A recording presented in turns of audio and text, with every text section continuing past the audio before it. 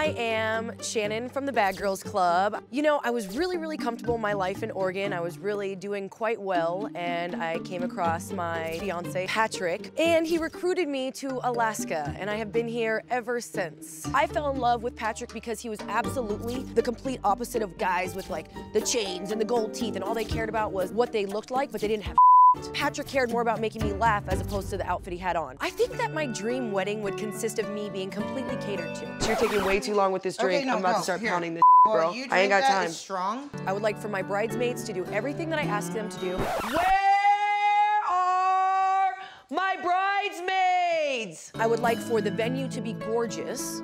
Stinks so bad back here. Like, Winter wonderland almost. Very magical, diamonds and sparkles and ice crystals everywhere and lights. I'm a bridezilla because I'm a perfectionist. I don't have time for people's bull. If you're not doing your job right, just get the out of my way. hurry, we got a wedding to do, guys. Let's go. I'm the queen. I run everything.